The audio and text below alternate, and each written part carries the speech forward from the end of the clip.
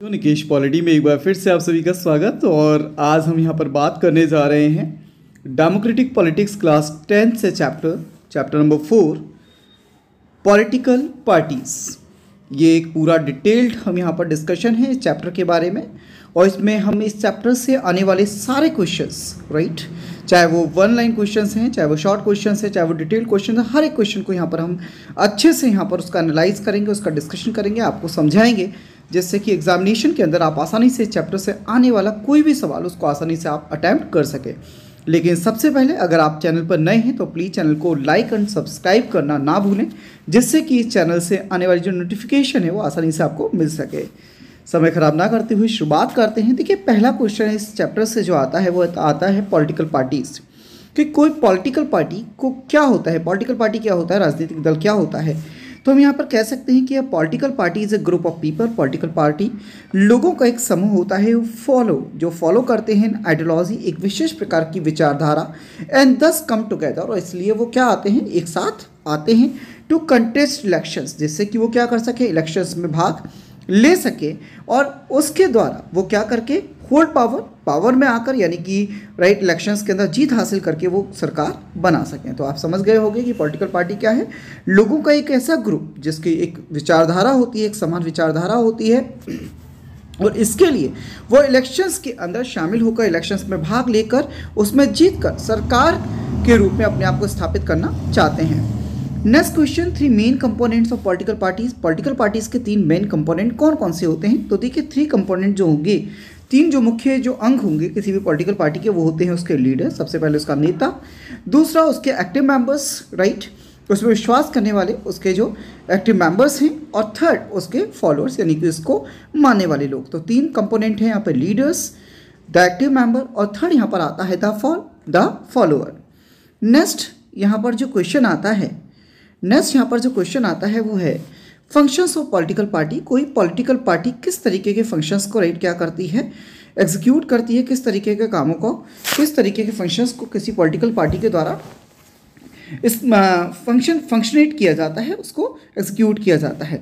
तो देखिएगा, हम यहाँ पर देख सकते हैं कि द फेरियस फ़ंक्शंस कि कई तरीके के फ़ंक्शंस पॉलिटिकल पार्टीज़ किसी एक डेमोक्रेसी के अंदर उसके द्वारा परफॉर्म किए जाते हैं, जिसमें पहला है पॉलिट पार्टीज़ कंटेस्ट इलेक्शंस देखिए पार्टीज़ का गठन ही इसलिए किया जाता है कि पार्टीज़ के द्वारा आप क्या करें? इलेक्शंस के अंदर संगठित रूप से आप राइट क्या करें? इलेक्शंस के अंदर पार्टिसिपेट करें और इलेक्शन जीतकर आप गवर्नमेंट के अंदर अपनी भागीदारी को क्या करें? सुनिश्चित करें। In most democracies elections are fought mainly among the candidates put by the political parties ज़्यादातर जो डेमोक्रेसीज हैं, उनमें पार्टी के जो कैंडिडेट्स हैं, उनके बीच में ही राइट क्या होता है? इलेक्शंस के अंदर जो प्रतिस्पर्धा होती है, वो उनके बीच में ही होती है। This candidates are elected in different ways ये जो कैंडिडेट हैं, ये अलग अलग तरीके से क्या कर सकते हैं? राइट जीत सकते हैं। In US the party and the supporter choose candidate US के अंदर जो कैंडिडेट है, उसको पार्टी और पार्टी के जो फॉलोअर्स हैं, वो मिलकर क्या करते हैं? कैंडिडेट को चूज़ करते हैं। जबकि हिंदुस्तान के अंदर बात की जाए तो तो तो, तो जो टॉप पार्टी जो लीडरशिप होती है राइट पार्टी हाईकमान होता है वो लीडर्स को क्या करता है चूज़ करता है। तो पहला पार्टीज़ का जो काम है वो है कि पार्टीज़ राइट क्या करती है इलेक्शंस के अंदर कॉन्टेस्ट करती है यानी कि इलेक्शंस के अंदर पार्टी के द्वारा भागीदारी दी जाती है। दूसरा है parties propagate their agenda before the voters देखिएगा इलेक्शंस को तब तक नहीं जीता जा सकता जब तक कि कोई भी पार्टी राइट आपको कोई वोट क्यों देगा? आपको तो कोई वोट इसलिए तो देगा क्योंकि उसको आपकी विचारधारा, आप किस तरीके की पॉलिसीज़ में बिलीव करते हैं जब आप लोगों को ये बताएँगे? और ये काम किसके द्वारा किया जाता है? ये काम पार्टीज़ के द्वारा किया जाता है, जब पार्टी लोगों के सामने वोटर्स के सामने अपने एजेंडा को राइट क्या करती है, रखती है। By introducing different policies parties influence the voters voter के सामने वोटर को प्रभावित करने की कोशिश करती है and voters choose them on the basis of their programme and policies और वोटर्स उनको, उनकी पॉलिसीज़ और प्रोग्राम्स के आधार पर क्या करते हैं, उनको चूज़ करते हैं। इसके बाद थर्ड जहाँ पर जो आता है, वो है political parties political parties form and run government political parties election में कंटेस्ट किया अपना एजेंडा लोगों के सामने रखा और जब लोगों ने उनको जिता दिया तो फिर पार्टीज़ क्या करती हैं? सरकार के आ, देश के लिए सरकार क्या करती है? रन करती हैं सरकार चलाने का काम करती हैं। नेक्स्ट यहाँ पर है fourth function those political parties lose the elections play the role of opposition देखिएगा डेमोक्रेसी के अंदर जितना इम्पोर्टेंस जो है वो रूलिंग पार्टी का है, उतना ही इंपॉर्टेंस राइट अपोजिशन का भी होता है। तो जो पार्टी जीती, वो तो रूलिंग पार्टी हो गई, वो सरकार चलाएगी। लेकिन जो पार्टी हारी है, इसका मतलब ये नहीं कि उनका कोई इंपॉर्टेंस नहीं है, उनका भी अपना इंपॉर्टेंस है और वो अपोजिशन के रूप में क्या करती है, अपना रोल प्ले करती हैं। कैसे? Right role of opposition to the parties in power by the different views and criticise the government for is failure right कि जो सरकार है, जो रूलिंग पार्टी है, वो जो भी कुछ कर रही है, सही है तो राइट ठीक है। लेकिन अगर वो कुछ गलत कर रही है तो जो अपोजिशन पार्टीज़ का जो फ़र्ज़ है, वो ये है कि वो प्रिंसिपल तरीके से, यानी कि एक सही तरीके से गवर्नमेंट की गलत नीतियों की आलोचना करे और उनको सही तरीके से काम करने को राइट क्या करे, उनको राइट उनको एक तरीके से उनको फाइन उनको उनको मजबूर करे एक तरीके से कि भाई उनको सही तरीके से क्या करना चाहिए राइट काम करना चाहिए। इसके बाद political parties often creates public opinion regarding the issues and concerns of the society and mobilize the masses to achieve their desirable goals. देखिए पॉलिटिकल पार्टीज़ का जो एक और फ़ंक्शन है, वो क्या है? कि वो पब्लिक ओपिनियन तैयार करने का काम करती है। पब्लिक ओपिनियन तैयार करने का मामला क्या है? अब इसको इस तरीके से देखिए कि किसी, हर एक देश का, चाहे वो कोई भी स्टेट क्यों ना हो, सबकी अपनी अपनी समस्याएँ होती हैं चैलेंजेस होते हैं। तो पॉलिटिकल पार्टीज़ का ये काम होता है कि वो लोगों के सामने कंट्री की या नेशन के सामने जो चुनौतियाँ हैं, वो लेकर जाए और लोगों के बीच एक माइंडसेट तैयार करें, लोगों का एक बीच एक पब्लिक मैंडेट तैयार करें, जिससे कि राइट क्या कर सके? लोग उनके फेवर में आए, उस पार्टी को जिताएँ और जब वो पार्टी जीत जाएगी तो वो उन, वो जो चैलेंजेस हैं, उनको दूर करने के लिए काम कर सकती है। इसके बाद नेक्स्ट है political party provide people access to the government machinery and welfare schemes implemented by the government because for ordinary people it is easier to approach a local party leader than the government officer देखो, बहुत import बहुत एक तरीके से मतलब जो भी है, धरातल की जो स्थिति है, जो ग्राउंड लेवल रियलिटी है, वो यहाँ पर बताने की कोशिश की गई है कि जो पॉलिटिकल पार्टीज़ हैं, इन्हीं की मदद से जो आम लोग हैं, वो राइट क्या होता है? गवर्नमेंट मशीनरी तक राइट क्या कर पाता है? अपनी अपनी जो पहुँच है उसको सुनिश्चित कर पाता है। जो ऑर्डिनरी लोग हैं, वो गवर्नमेंट मशीनरी के गवर्नमेंट के राइट गवर्नमेंट के डिफरेंट इंस्टीट्यूशंस गवर्नमेंट के डिफरेंट डिपार्टमेंट्स तक जो लोगों की जो पहुँच बनती है राइट वो किसके द्वारा ही बनती है? मतलब ईजी वे जो है, वो पार्टीज़ के द्वारा ही बनती है। पार्टी के पदाधिकारियों के द्वारा पार्टी लीडर्स के द्वारा जो लोग हैं, वो गवर्नमेंट तक अपनी राइट क्या रख सकते हैं? बात रख सकते हैं, अपने इश्यूज़ रेज कर सकते हैं। और दूसरा यहाँ पर जो वेलफेयर प्रोग्राम्स और स्कीम्स जो होती हैं राइट किसी भी गवर्नमेंट की जो वेलफेयर प्रोग्राम या स्कीम्स जो होती हैं, उनको राइट उनको ऑर्डिनरी लोगों तक मासेस तक, उसके बारे में एक अवेयरनेस उसके बारे में एक इन्फॉर्मेशन उसके बारे में एक जागृति जो पैदा करने का जो काम होता है, वो भी पॉलिटिकल पार्टी का होता है। देखिए, यहाँ पे कहा गया है कि किसी भी आम आदमी के लिए यह आसान है कि वो किसी एक राजनीतिक व्यक्ति के को संपर्क कर सके बजाय किसी एक गवर्नमेंट ऑफिसर के। किसी एक सरकारी कर्मी या सरकारी अफसर तक अप्रोच करना उतना आसान नहीं है, जितना कि राइट क्या होता है, एक पॉलिटिकल पार्टी के किसी व्यक्ति के के साथ संपर्क करना होता है, क्योंकि वो लोगों के लिए सहज उपलब्ध होते हैं। तो यहाँ पर हमने सिक्स फ़ंक्शंस देखे, जो कि कोई भी पॉलिटिकल पार्टी राइट करती है। नेक्स्ट यहाँ पर देखेंगे द नेसेसिटी जो नेक्स्ट क्वेश्चन है, वो है necessity necessity of political parties की पॉलिटिकल पार्टीज़ की ज़रूरत क्यों होती है? देखिए, वो ये था कि फ़ंक्शंस ऑफ़ पॉलिटिकल पार्टीज़ की जो लास्ट हमने देखा होता फ़ंक्शंस ऑफ़ पॉलिटिकल पार्टी की पॉलिटिकल पार्टी करती क्या है? नेक्स्ट हम यहाँ पर जो देख रहे हैं वो ये है कि पॉलिटिकल पार्टी की नेसेसिटी यानी कि ज़रूरत ही क्यों है? तो देखिएगा, वो कहता है the rise of political parties is directly link to the emergence of represented democracy कि पॉलिटिकल पार्टी की जो इम्पोर्टेंस है ना, वो तब से ज़्यादा होती चली गई जब से रिप्रेजेंटेटिव डेमोक्रेसी यानी कि प्रतिनिधि, प्रतिनिधिमूलक जो लोकतांत्रिक व्यवस्थाएँ आई, तब से पॉलिटिकल पार्टीज़ की जो इम्पोर्टेंस है वो क्या होती है? बढ़ जाती है। जैसे कि, पहला they play vital role in functioning of representative government serving multiple essential functions. Notably, they represent diverse perspective on various issues to the government, enabling a broad range of voices to be heard. तो सबसे पहली जो ज़रूरत है किसी भी representative government के अंदर पॉलिटिकल पार्टी की वो ये है कि पॉलिटिकल पार्टी बहुत सारे काम करती हैं जैसे कि वो राइट जो सरकार है उसके सामने अलग अलग जो धारणाएँ हैं, लोगों की जो अलग अलग सोच है, लोगों की जो अलग अलग राइट जो जो उनकी आवश्यकताएँ हैं, उनको राइट सरकार के सामने रखने का जो कार्य करती है, वो कौन करती है? पॉलिटिकल पार्टी इसके बाद सेकंड यहाँ पर हम बी देख सकते हैं कि by bringing together representatives from different backgrounds parties facilitate the formation of the responsible and accountable government वो कहती है कि जो पॉलिटिकल पार्टीज़ हैं, वो अलग अलग बैकग्राउंड के लोगों को एक साथ लाकर अलग अलग तरीके के लोगों अलग अलग बैकग्राउंड के लोगों को एक साथ लाकर वो एक रिस्पॉन्सिबल अकाउंटेबल गवर्नमेंट का क्या करती है, निर्माण करती है। यानी कि एक ऐसी सरकार जो कि सभी के हित के लिए राइट क्या करे, काम करे। यहाँ पे थर्ड है the they function as mechanism to both support and retain restrain the government participating in policy making and offering justification और अपोजिशन वेन नेसेसरी अब देखिएगा पॉलिटिकल पार्टीज़ एक और ज़रूरी काम यहाँ पर कर रही हैं। वो क्या है? कि वो वो गवर्नमेंट को क्या करती हैं? सपोर्ट भी करती हैं और रिस्ट्रेन भी करती हैं। यानी कि अगर कोई भी गवर्नमेंट अच्छे से काम कर रही है तो वो गवर्नमेंट की उन कामों के लिए, उन पॉलिसीज़ के लिए गवर्नमेंट को सपोर्ट करेंगी। और अगर लगता है कि गवर्नमेंट राइट ठीक से चीज़ें नहीं कर रही है तो वो उसको राइट उसकी रोकथाम के लिए, उनकी वो राइट अनकॉन्स्टिट्यूशनल उनकी वो राइट उनके फ़ंक्शंस को रोकने का भी काम कर सकती है। इसी तरीके से पॉलिसी मेकिंग के अंदर भी पॉलिटिकल पार्टीज़ का एक इंपॉर्टेंट रोल होता है और इस तरीके से राइट पॉलिटिकल पार्टीज़ ज़रूरत के समय राइट सही चीज़ों के लिए जो सरकार है उसको समर्थन और गलत चीज़ों के लिए राइट अगर लगता है कि सरकार की किसी नीति का राइट उसको, उसका, उसको अपोज करना है तो उस समय वो अपोज करने का भी काम करती है। तो इस तरीके से नेसेसरी और पॉलिटिकल पार्टीज़ में थ्री हमारे पास यहाँ पर राइट पॉइंट्स हैं, जिस के, जो ये बताते हैं कि पॉलिटिकल पार्टीज़ किसी भी एक डेमोक्रेटिक रिप्रेजेंटेटिव सिस्टम में क्यों आवश्यक है, क्यों ज़रूरी है। नेक्स्ट यहाँ पर आगे बढ़ते हैं how many parties should be have बड़ा ही देखिए, बड़ा ही सिंपल सा एक क्वेश्चन है राइट लेकिन है बड़ा इंपॉर्टेंट कि कितनी तरीके की पॉलिटिक कितनी, कित how many parties should be है? हमें कितनी पार्टीज़ होना चाहिए?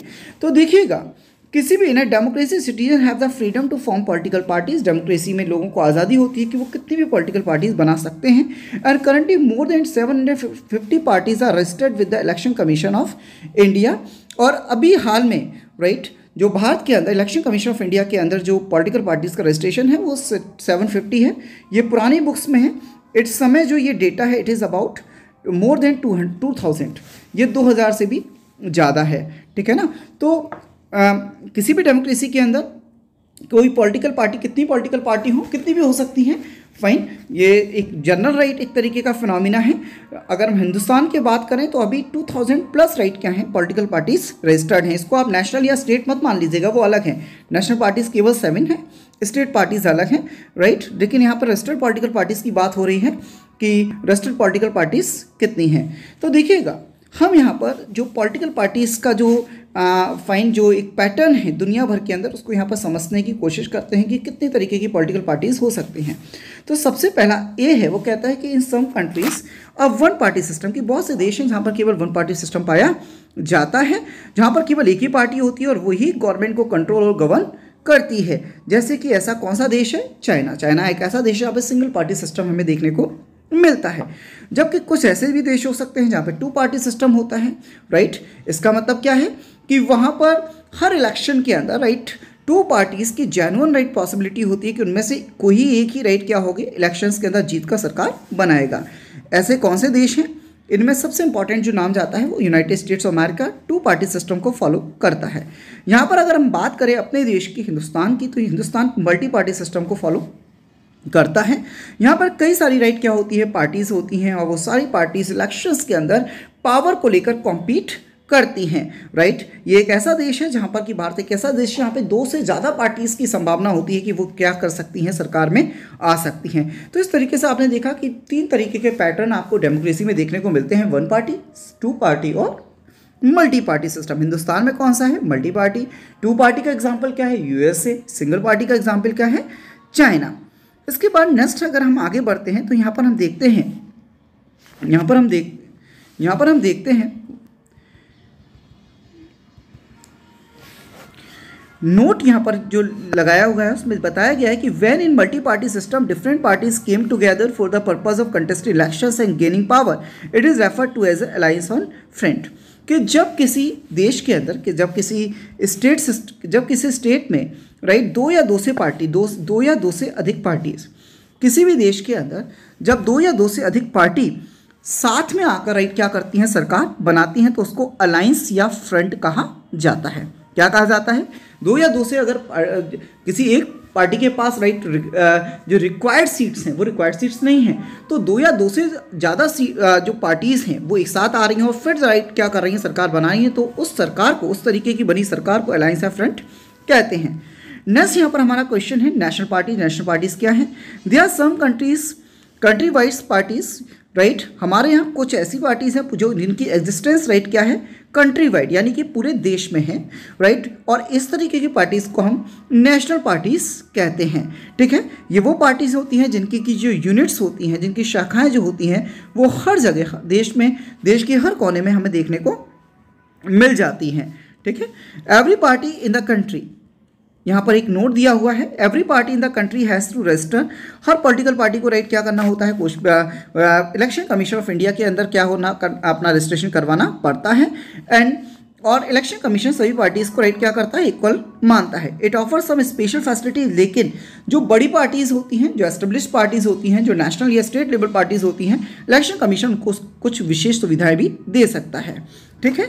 यहाँ पर यहाँ पर नेक्स्ट हमारा जो क्वेश्चन है क्राइटेरिया फॉर पॉलिटिकल पार्टीज़ तो देखिएगा, सबसे पहले स्टेट पार्टी के लिए क्राइटेरिया हम देख सकते हैं, ठीक है, कि किसी भी पार्टी को, किसी भी पॉलिटिकल पार्टी को भारत के अंदर स्टेट पार्टी का जो अगर दर्जा दिया जाएगा तो कैसे दिया जाएगा? तो देखिएगा अब party that secure eighty six percent of the total votes in election to the legislative assembly of a state and wins at least two seats in the recognised and wins at least two seats is recognise as state party वो क्या कह रहा है? कि कोई party अगर उसको elections के अंदर राइट लेजिस्लेटिव इलेक्शंस के अंदर राइट लेजिस्लेटिव इलेक्शंस के अंदर स्टेट लेजिस्लेटिव इलेक्शंस के अंदर अगर उसको कुल पड़े हुए वोटों का कितना परसेंट कितने परसेंट वैलिड वोट मिल जाए? सिक्स परसेंट वैलिड वोट मिल जाए। और एमपी की उसकी, अगर उसके पास एमपी के लिए कितनी सीट्स हों? लोकसभा में अगर उसकी कितनी सीट हो? टू सीट्स हों तो उस पॉलिटिकल पार्टी को स्टेट पार्टी का दर्जा दिया जा सकता है। दो चीज़ें यहाँ पर हैं। लेजिस्लेटिव असेंबली के अंदर सिक्स परसेंट वैलिड वोट और लोकसभा के अंदर टू एम अगर उसके पास हैं तो किसी पार्टी को स्टेट पार्टी का दर्जा दिया जा सकता है। जबकि अगर राइट right, अगर नेशनल पार्टी की बात करें तो आप party that secure eighty six party और total votes in Lok Sabha is recognised वैसे इसमें और भी राइट कुछ कंडीशंस हो सकती हैं, लेकिन अभी हम केवल टेंथ स्टैंडर्ड के हिसाब से बात कर रहे हैं यहाँ पर। नेशनल पार्टी एक पार्टी जिसको कि लोकसभा इलेक्शंस के अंदर राइट कितना, कम से कम सिक्स परसेंट राइट उसको क्या हो जाए वोट मिल जाए, उसके साथ उसके पास कुछ सीट्स भी होनी चाहिए राइट लोकसभा के अंदर राइट मिनिमम फोर होती हैं ये तो उसे हम नेशनल पार्टी का नाम दे सकते हैं।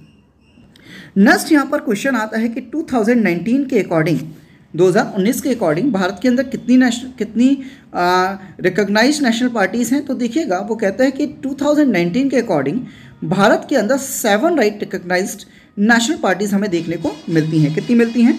2019 के अकॉर्डिंग हमें सेवन रिकोगनाइज नेशनल पार्टीज़ देखने को मिलती है, जिसमें सबसे पहले और सबसे पुरानी पॉलिटिकल पार्टी जो है, वो है इंडियन नेशनल कांग्रेस यानी कि आई एन सी ठीक है? इसको कांग्रेस पार्टी के नाम से जाना जाता है। भारत की सबसे पुरानी पॉलिटिकल पार्टी है। इसका स्टैब्लिशमेंट 1885 के अंदर होता है।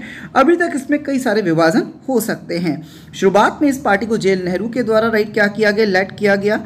राइट और उनके द्वारा इसे एक मॉडर्न सेकुलर डेमोक्रेटिक और रिपब्लिक पार्टी के रूप में आगे ले जाया गया। ठीक है ना? भारत के अंदर ये पॉलिटिकल पार्टी सेंट्रल के अंदर 1977 तक आज़ादी से लेकर 1977 तक कंटिन्यूस इसके द्वारा रूल किया गया और बाद में 1980 से 1989 तक इसके द्वारा रूल किया गया। 18 1989 के बाद भारत के अंदर कॉलिएशन गवर्नमेंट्स का राइट क्या आ जाता है आ, समय आ जाता है और यही कारण था कि उस समय कुछ अलायंस हमें देखने को मिलते हैं लेकिन बाद में इक्कीसवीं शताब्दी में 2004 से लेकर 2014 तक भी हमें इस पार्टी का कंप्लीट एक डोमिनेंस राइट सेंट्रल गवर्नमेंट के में देखने को मिलता है। तो सबसे पुरानी पॉलिटिकल पार्टी जो नेशनल पार्टी है हमारे यहाँ वह है इंडियन नेशनल कांग्रेस इसके बाद जो सेकेंड राइट जो राइट मुझे, जो पॉलिटिकल पार्टी यहाँ पर है, वो है Bharatiya Janata party. Second in terms of right second in terms of right जो कांग्रेस के बाद पोजीशन के बारे में बात करें, लेकिन आज के समय जब हम 2024 में ये वीडियो बना रहे हैं तो हम ये देख सकते हैं कि आज के समय में भारत की सबसे ज़्यादा ताकतवर अगर कोई पॉलिटिकल पार्टी है राइट चाहे स्टेट हो, चाहे नेशनल हो तो वो राइट कोई कौन सी ही भारतीय जनता पार्टी इस पार्टी का स्टैब्लिशमेंट 1980 में होता है। और इस पार्टी के जो रूट्स हैं, यानी कि इसका जो पास्ट है, वो हमें भारतीय जनसंघ राइट के रूप में देखने को मिल सकता है। ठीक है? ये भारतीय जनसंघ, जिसको कि श्याम प्रसाद मुखर्जी के द्वारा राइट उन्नीस सौ इक्यावन में क्या किया गया था, खड़ा किया गया था। इस पार्टी का जो मेन एजेंडा है, राइट, वो इस पार्टी का जो मेन एजेंडा है, वो है Asian culture and values, restoration of Asian culture, right. ये भारत की, ये भारत के जो प्राइड है, भारत का जो कल्चर है, भारत का जो, भारत की जो वैल्यूज़ हैं, राइट, भारत की भारत की जो integrity right? National integrity and sovereignty है, उसके अंदर इसकी ये क्या करती है? विश्वास करती है। कल्चरल नेशनलिज्म यानी कि हिंदुत्व भी इसका एजेंडे का मुख्य बिंदु है। Right? Elements in this concept of Indian nationhood and politics इस तरीके से ये राष्ट्रवादी राष्ट्रवादी राजनीति को राइट क्या करती है? एक तरीके से इसके अंदर प्रमुखता दी जाती है। तो ये हमारी हुई सेकेंड नेशनल पार्टी राइट? अगर यहाँ पर देखा जाए इस पार्टी के बारे में, इसके एक्सपेंशन के बारे में तो यहाँ पर हम देख सकते हैं कि शुरुआत में ये जो भारतीय जनता पार्टी थी, ये केवल ये केवल भारत के उत्तरी और पश्चिमी इलाकों तक राइट और उसमें भी जो अर्बन एरियाज़ जो थे राइट शहरी क्षेत्र थे, वहाँ तक राइट ये क्या थी? केवल वहाँ तक ही इसका एक्सपेंशन था। लेकिन लेकिन बाद में ये धीरे धीरे राइट सबसे पहले जो प्राइम मिनिस्टर आते हैं इस पॉलिटिकल पार्टी से, वो अटल बिहारी वाजपेयी थे और धीरे धीरे ये पूरे भारतवर्ष में राइट ये पार्टी क्या होती चली जाती है, फैलती चली जाती है। 2014 से भारत के अंदर यही पॉलिटिकल इसी पॉलिटिकल पार्टी का राइट क्या किया जा रहा है? सेंट्रल के अंदर यही पॉलिटिकल पार्टी भारत को रूल कर रही है। नेशनल पॉलिटिकल पार्टी यहाँ आती है, बहुजन समाजवादी पार्टी इस पार्टी का फॉर्मेशन यानी कि इस्टेब्लिशमेंट होता है 1984 में। काशीराम जी के द्वारा, जिनको लग, जिनके द्वारा राइट कहीं ना कहीं जो वीकर सेक्शंस थे राइट वीकर सेक्शंस थे, जिनको कि उनके द्वारा बहुजन समाज कहा गया, उनके अपलिफ्टमेंट के लिए, उनके बेटरमेंट के लिए, उनके डेवलपमेंट के लिए, उनके द्वारा इस पॉलिटिकल पार्टी को, उनके अधिकारों की रक्षा करने के लिए, उनके द्वारा इस पॉलिटिकल पार्टी का स्टैब्लिशमेंट किया गया, जिसमें बेसिकली राइट उनके जो टारगेटेड सेक्शंस थे, वो थे दलित, आदिवासी, ओबीसी और राइट जो रिलीजियस माइनॉरिटीज़ थी, वो इस पॉलिटिकल पार्टी के right main right vote bank के रूप में हम इसको देख सकते हैं राइट शुरुआत इस पॉलिटिकल पार्टी की होती है उत्तर प्रदेश के अंदर, लेकिन बाद में ये आसपास के क्षेत्रों के अंदर, जैसे स्पेशली मध्य प्रदेश, छत्तीसगढ़, उत्तराखंड, दिल्ली, पंजाब राइट जैसे जो रीजन्स हैं, उसमें भी इनकी प्रेजेंस धीरे धीरे बढ़ती चली जाती है। आज के समय में ये एक नेशनल पॉलिटिकल पार्टी है। यहाँ पर गौर देने वाली बात यह है कि चार बार बहुजन समाजवादी पार्टी यानी कि बीएसपी के द्वारा चार बार उत्तर प्रदेश विधानसभा का जो इलेक्शन है, यानी कि चार बार बीएसपी के द्वारा अपना सीएम राइट उत्तर प्रदेश, जो कि भारत का सबसे बड़ा राइट अगर बात की जाए राइट लेजिस्लेटिव असेंबली की या उसकी संख्या की right ma'am number of members की तो सबसे बड़े स्टेट के अंदर बीएसपी के द्वारा चार बार अपनी सरकार बनाई गई है। यहाँ पर नेक्स्ट अगर बात की जाए तो ये फोर्थ नेशनल पार्टी यहाँ पर आती है। Communist Party of India, Marxist, इस पॉलिटिकल पार्टी की स्थापना 1964 में कम्युनिस्ट पार्टी ऑफ़ इंडिया के स्प्लिट या डिवाइडेशन के बाद होती है। ये पार्टी मार्क्सिज्म और लेनिज्म में राइट क्या करती है, बिलीव करती है। और इस पार्टी का जो विशेष रूप से जो इसका सपोर्ट है, वो राइट सोशलिज्म, सेकुलरिज्म, डेमोक्रेसी के ऊपर है। और ये इम्परलिज्म यानी कि अधिनायकवाद और कम्युनलिज्म को राइट ये क्या करती है, उसका विरोध करती है। It is except democratic election as a useful and helpful means for securing the objective of socio economic justice in India ये पार्टी मानती है कि इलेक्शन जो हैं वो भारत के अंदर राइट right, अपने सामाजिक आर्थिक जो न्याय के जो आपके उद्देश्य हैं उनको पूरा करने का एक महत्वपूर्ण साधन है। ये पॉलिटिकल पार्टी ये पॉलिटिकल पार्टी इसका एक स्ट्रॉन्ग राइट सपोर्ट सिस्टम है वेस्ट बंगाल केरला और त्रिपुरा जैसे राज्यों के अंदर इस पार्टी की अच्छी खासी एग्जिस्टेंस हमें देखने को मिलती है। 2014 के इलेक्शंस के अंदर इस पॉलिटिकल पार्टी को तीन परसेंट वोट और नौ सीटें लोकसभा के अंदर प्राप्त हुई थी। यहाँ पर next political party next national political party की बात करें तो ये आती है आम आदमी पार्टी। आप सभी इससे अच्छे से वाकिफ़ होंगे आम आदमी पार्टी अरविंद केजरीवाल जी, उनका इंडिया अगेंस्ट करप्शन का मूवमेंट राइट और उसके बाद उस आम आदमी पार्टी का इस्टेब्लिशमेंट आम आदमी पार्टी भी भारत की एक नेशनल पार्टी है। इसका इस्टेब्लिशमेंट नवंबर 2012 में अरविंद केजरीवाल के द्वारा किया जाता है। फॉलोइंग दैट 2011 इस पार्टी का जो बैकग्राउंड है, वो कहीं ना कहीं आप 2011 में भारत में चलने वाले इंडिया एंटी करप्शन मूवमेंट में आप देख सकते हो।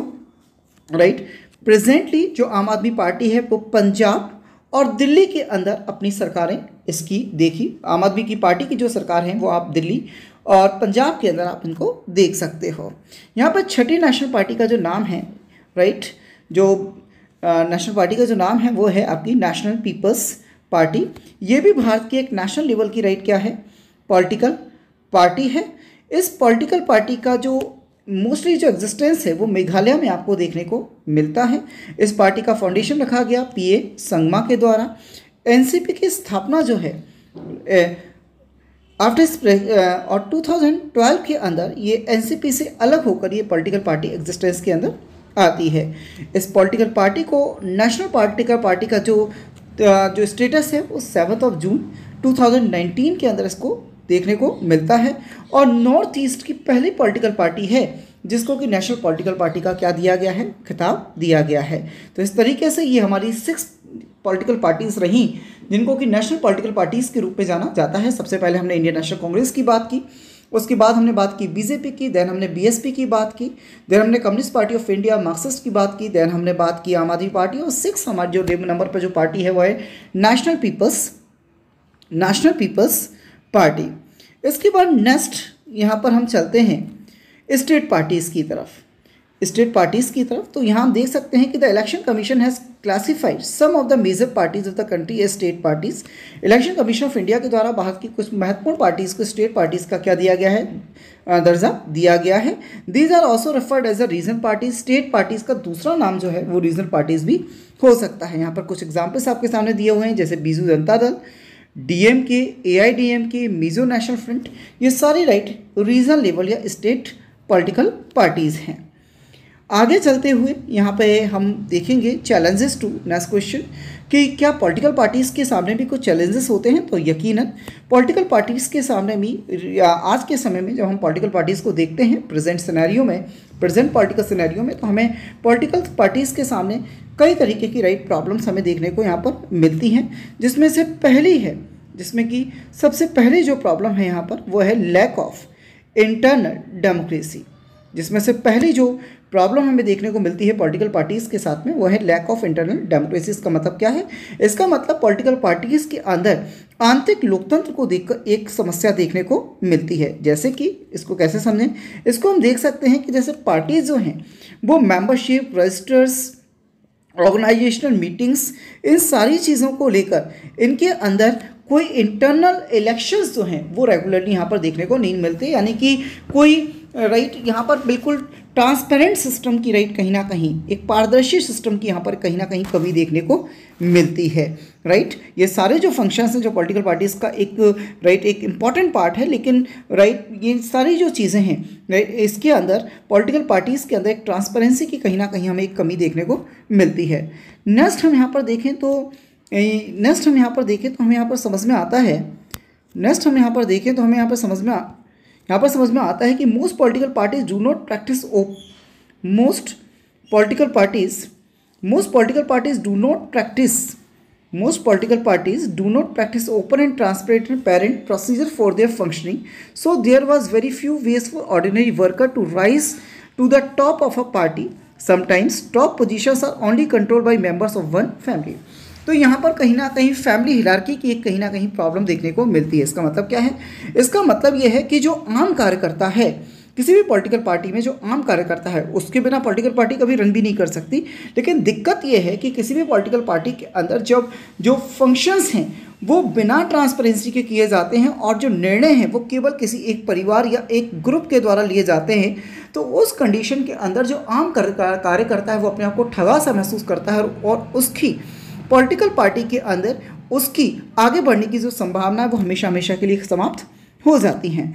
थर्ड यहाँ पर जो पॉलिटिकल पार्टीज़ को लेकर समस्या है, वो है money and muscle power generally देखा गया है कि पॉलिटिकल पार्टीज़ अपने टिकट डिस्ट्रीब्यूशन के समय उन्हें राइट जबकि इस चीज़ का विशेष रूप से ध्यान रखना चाहिए कि जिस कैंडिडेट को वो टिकट दे रहे हैं उसकी जो छवि है वो पूरी तरीके से राइट स्वच्छ होनी चाहिए। लेकिन फिर भी कभी कभी केवल सीट्स जीतने के लिए ज़्यादा से ज़्यादा सीट्स लाने के चक्कर में राइट पॉलिटिकल पार्टीज़ जो मनी पावर वाले जो लोग हैं, या मसल पावर टाइप के जो मसल पावर वाले जो लोग हैं, उनको राइट क्या करती है? पॉलिटिकल पार्टीज़ के द्वारा उनको टिकट दिया जाता है।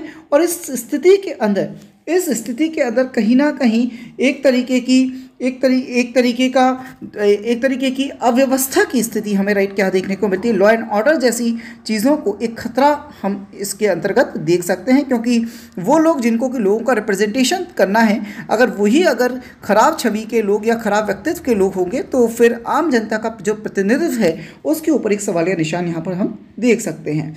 यहाँ पर फोर्थ जो चैलेंज है पॉलिटिकल पार्टीज़ के रूप में तो वो है यहाँ पर people do not find parties to be meaningful choice for their vote लोगों के पास पॉलिटिकल पार्टीज़ के रूप में कोई मीनिंगफुल चॉइस नहीं होती। अब इसका मतलब क्या है? इसका मतलब ये है कि वही लोग हैं राइट जो लीडर्स हैं या लीडरशिप जो है वो वही है राइट वही है और वही जो लोग हैं राइट जो आज ए पार्टी में है, कल वो बी पार्टी में होंगे। दूसरा यहाँ पर प्रॉब्लम जो होती है, वो ये होती है कि, दूसरा यहाँ पर जो प्रॉब्लम होती है, वो ये होती है कि कहीं ना कहीं जो पार्टी की जो पॉलिसीज़ हैं या पार्टी का जो एजेंडा होता है, उसमें भी कोई खास डिफरेंट पार्टीज़ के बीच में उसमें भी कोई खास अंतर नहीं होता। तो ये भी एक बड़ी समस्या यहाँ पर देखने को मिलती है। तो हमने देखा चार तरीके की यहाँ पर प्रॉब्लम है। पॉलिटिकल पार्टीज़ को लेकर पहली चीज़ हमने देखा कि कहीं ना कहीं इंटरनल डेमोक्रेसी की एक कमी है। सेकेंड हमने यहाँ पर बात की ट्रांसपेरेंसी को लेकर राइट right? एक प्रॉब्लम हमने देखा थर्ड हमने देखा use of muscle and money power है नंबर फोर हमने देखा कि पॉलिटिकल पार्टीज़ के अंदर कहीं ना कहीं आम लोग मीनिंगफुल चॉइस की एक तरीके की एब्सेंस को राइट फेस करते हैं यहाँ पर नेक्स्ट क्वेश्चन है कि political parties how can how can parties can be reform जो पार्टीज़ हैं, वो किस तरीके से रिफॉर्म किया जा सकता है? तो देखिएगा यहाँ पर कुछ स्टेप्स दिए गए हैं, कुछ एक्शंस दिए गए हैं, जिसके थ्रू इस पॉलिटिकल पार्टीज़ के अंदर रिफॉर्म्स लाने की कोशिश की गई। Under fifty second constitution amendment nineteen eighty five defection is prohibited in India defection का मतलब दल बदल। डिफेक्शन का मतलब दल बदल। उन्नीस सौ पचासी के जो उन्नीस सौ पचासी का जो कॉन्स्टिट्यूशन अमेंडमेंट उन्नीस सौ पचासी में जो फिफ्टी सेकेंड कॉन्स्टिट्यूशन अमेंडमेंट हुआ, उसमें डिफेक्शन को पूरी तरीके से क्या कर दिया प्रोहिबिट कर दिया। अगर कोई व्यक्ति इस तरीके का काम करता है और ये सही पाया जाता है तो उसकी जो मेंबरशिप है, उसको राइट क्या किया जाएगा सस्पेंड कर दिया जाएगा। नेक्स्ट यहाँ पर जो है, वो है the supreme court of India India passed an order to reduce the influence of money and muscle power in politics. Supreme court of India का माननीय सर्वोच्च न्यायालय का निर्णय है कि भाई, जो मनी एंड मसल पावर जो है, उसका जो प्रभाव है पॉलिटिक्स के अंदर कम से कम किया जाना चाहिए। और इसीलिए हर इलेक्शन हर कैंडिडेट को जो इलेक्शन के अंदर खड़ा होता है, उसके लिए ज़रूरी है कि वो इस बाबत एक अपना एफिडेविट राइट करारनामा राइट क्या करे? सामने रखे, लोगों के सामने रखे कि जिससे कि पता चले लोगों के पास कि उसके पास कितना धन है, उस धन के सोर्सेस क्या रहे, क्या उसका कोई क्रिमिनल रिकॉर्ड है? और तब जाकर लोगों के पास एक क्लियर चॉइस होगी कि वो किस तरीके के व्यक्ति को अपने रिप्रेजेंटेटिव के रूप में देखना चाहते हैं। यहाँ पर नेक्स्ट जो थर्ड यहाँ पर इस जो एक्शन है, हम यहाँ पर हम जो देख रहे हैं वो है the election commission pass an order making necessary to political party to hold their organisation election file their income tax return जो इलेक्शन कमीशन ऑफ़ इंडिया है, उसका आदेश है कि पॉलिटिकल पार्टीज़ अपने यहाँ ट्रांसपेरेंसी और इंटरनल डेमोक्रेसी को इंश्योर करने के लिए पॉलिटिकल पार्टीज़ रेगुलर अपने यहाँ इलेक्शंस करवाए और अपने इनकम टैक्स रिटर्न्स राइट क्या करें प्रॉपर तरीके से उनको फ़ाइल उनके द्वारा किया जाना चाहिए। बिसाइड दीज मैनी सजेशंस इनके अलावा भी बहुत सारे सजेशंस हो सकते हैं, जो कि पॉलिटिकल पार्टीज़ के रिफॉर्म्स के लिए काफ़ी इंपॉर्टेंट हो सकती हैं। जैसे कि सबसे पहले सबसे पहले यहाँ पर हम देखें तो a law should be made for regulate the internal affairs of political parties political parties के आंतरिक मामलों को रेगुलेट करने के लिए कानून बनाया जाना चाहिए। It should be made mandatory for parties to give minimum number of tickets about one third to the women candidates to ensure minimum quota for women in the decision making bodies of the parties ये भी निश्चित किया जाना चाहिए कि parties के द्वारा जो टिकट बांटे जाएँ उनमें कम से कम एक तिहाई सीट जो है वो महिलाओं को दी जाए और डिसीज़न मेकिंग में भी उनकी महत्वपूर्ण भूमिका होनी चाहिए। There should be state funding reflections यहाँ पर तीसरी चीज़ जो है मिसयूज ऑफ़ मनी या मनी पावर का मिस मनी पावर का इस्तेमाल जो इलेक्शंस के अंदर गलत तरीके से किया जाता है उसके लिए एक, एक विचार ये भी है कि राज्य के द्वारा जो इलेक्शंस के अंदर जो खर्चे होते हैं, उसका जो पूरा खर्चा है, वो राज्य के द्वारा, यानी कि स्टेट के द्वारा राइट उठाया जाना चाहिए। The government should give parties money government को पार्टीज़ के लिए पैसा दिया जाना चाहिए, जिससे कि right to support their election expenses जिससे कि वो अपने इलेक्शंस में होने वाले खर्चों की पूर्ति कर सकें और गलत तरीकों से वो अपने आप को बचा सके। तो ये भी राइट कुछ क्या हो सकते हैं? जनरल मेजर्स हो सकते हैं, जिससे कि जनरल मेजर्स हो सकते हैं, जिससे कि पॉलिटिकल पार्टीज़ के अंदर रिफॉर्म्स लाने की कोशिश की जा सकती है। Two different ways of reforms in political parties यहाँ पर लोग भी अपनी तरफ़ से भी राइट लोग क्या कर सकते हैं, कुछ इनिशिएट कर सकते हैं, जैसे कि people can put pressure on political parties जो लोग हैं, वो हमेशा पॉलिटिकल पार्टीज़ के ऊपर एक दबाव बनाए रखें। This can be done through petition publicity and agitations ये आपकी पिटिशंस याचिकाओं पब्लिसिटी और एजिटेशन विरोध प्रदर्शनों के रूप में हो सकता है। जिससे पॉलिटिकल पार्टीज़ को हमेशा ध्यान रहे कि लोग जागरूक हैं और वो किसी भी तरीके की गलत एक्टिविटी को करने से अपने आप को बचाएँ।